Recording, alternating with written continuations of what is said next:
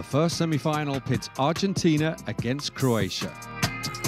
Argentina survived the late Dutch rally to progress to their fifth semi final.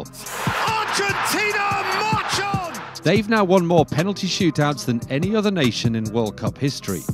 And they've gone on to reach the final after all three previous quarter-final wins.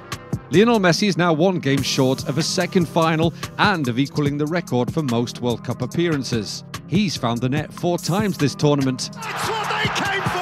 The Magic Man! Argentina have scored at least twice in four successive games. Next for Messi and co is Croatia appearing in their third semi-final. A nation with less than one-tenth the population of Argentina, Croatia have already defeated a South American giant, bringing down Brazil in a last eight shootout. The shock has happened! Dominik Livakovic was their hero, saving his fourth penalty to equal the single tournament record. The 2018 runners-up brushed aside Argentina in the group stage four years ago.